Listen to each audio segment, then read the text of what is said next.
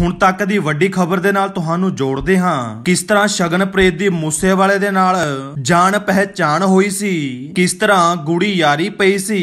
ਇਹ ਸਾਰੀਆਂ ਚੀਜ਼ਾਂ ਤੁਹਾਡੇ ਸਾਹਮਣੇ ਰੱਖਾਂਗੇ। ਸ਼ਗਨਪ੍ਰੀਤ ਉਹ ਮੁੰਡਾ ਹੈ ਜਿਸਨੇ ਕਿ ਵਿੱਕੀ ਮਿੱਡੂ ਖੇੜੇ ਦੇ ਕਤਲ ਦੇ ਵਿੱਚ ਅਹਿਮ ਰੋਲ ਅਦਾ ਕੀਤਾ ਸੀ। ਇਹ ਕਹਿਣਾ ਹੈ ਗੋਲਡੀ ਬਰਾੜ ਦਾ। ਸ਼ਗਨਪ੍ਰੀਤ ਹੀ ਸਿੱਧੂ ਦਾ ਮੈਨੇਜਰ ਸੀ। ਉਹਨਾਂ ਦੀ ਆਪਸ ਦੇ ਵਿੱਚ ਜਾਣ ਪਛਾਣ ਤੇ ਗੂੜੀ ਯਾਰੀ ਵੀ ਸੀ। ਇਹ ਗੱਲ ਪ੍ਰੂਫ ਹੋ ਚੁੱਕੀ ਚੁੱਕੀ ਹੈ। ਕਿਉਂਕਿ ਸਿੱਧੂ ਦੇ ਪਿਤਾ ਬਲਕੌਰ ਸਿੰਘ ਨੇ ਬੋਲਦੇ ਹੋਇਆਂ ਸ਼ਗਨਪ੍ਰੀਤ ਦਾ ਵੀ ਜ਼ਿਕਰ ਕੀਤਾ ਤੇ ਸ਼ਗਨਪ੍ਰੀਤ ਬਾਰੇ ਵੀ ਦੱਸਿਆ ਕਿ ਦਰਅਸਲ ਸ਼ਗਨਪ੍ਰੀਤ ਇੱਕ ਫੈਨ ਸੀ, ਸਿੱਧੂ ਮੂਸੇਵਾਲੇ ਦਾ ਤੇ ਸਿੱਧੂ ਮੂਸੇਵਾਲੇ ਕੋਲ ਆਂਦਾ ਜਾਂਦਾ ਰਹਿੰਦਾ ਸੀ। ਪਤਾ ਨਹੀਂ ਦੋਨਾਂ ਦੀ ਗੁੜੀ ਜਾਣ ਪਹਿਚਾਣ ਹੋਈ, ਸ਼ਗਨਪ੍ਰੀਤ ਸਿੱਧੂ ਦਾ ਮੈਨੇਜਰ ਬਣ ਗਿਆ ਸੀ। ਸਿੱਧੂ ਮੂਸੇਵਾਲੇ ਨੇ ਆਪਣੇ ਕੰਮ ਸ਼ੋਅ ਦੀ ਦੇਖ-ਰੇਖ ਲਈ ਸ਼ਗਨਪ੍ਰੀਤ ਨੂੰ ਜ਼ਿੰਮੇਵਾਰੀ ਦੇ ਦਿੱਤੀ ਸੀ ਤੇ ਸ਼ਗਨਪ੍ਰੀਤ ਪ੍ਰੀਤ ਵੀ ਕਾਫੀ ਜ਼ਿੰਮੇਵਾਰੀ ਨਿਭਾਉਂਦਾ ਰਿਹਾ ਕੁਝ ਦੇਰ ਲਗਾਤਾਰ ਨਾਲ ਰਿਹਾ ਕੁਝ ਮਹੀਨੇ। ਪਰ ਉਸ ਤੋਂ ਬਾਅਦ ਉਹ ਆਸਟ੍ਰੇਲੀਆ ਚਲਿਆ ਗਿਆ। ਸਿੱਧੂ ਮੂਸੇਵਾਲੇ ਨੇ ਜਿਹੜੀ ਹੈ ਕਿ ਕੋਈ ਸਪੋਰਟ ਨਹੀਂ ਕੀਤੀ। ਵਿੱਕੀ ਮਿੱਡੂ ਖੇੜੇ ਦੇ ਕਤਲ ਤੋਂ ਬਾਅਦ ਇਹ ਗੱਲ ਵੀ ਪ੍ਰੂਫ ਹੋ ਚੁੱਕੀ ਹੈ। ਭਾਵੇਂ ਸ਼ਗਨਪ੍ਰੀਤ ਨੇ ਉਹ ਕਤਲ ਕਰਵਾਇਆ ਵੀ ਸੀ, ਵਿੱਕੀ ਮਿੱਡੂ ਖੇੜੇ ਦਾ, ਭਾਵੇਂ ਨਹੀਂ। ਪਰ ਇਹ ਗੱਲ ਜਿਹੜੀ ਹੈ ਕਿ ਸੱਚ ਹੈ ਕਿ ਸ਼ਗਨਪ੍ਰੀਤ ਜਿਹੜਾ ਹੈ, ਉਹ ਸਿੱਧੂ ਮੂਸੇਵਾਲੇ ਦਾ ਮੈਨੇਜਰ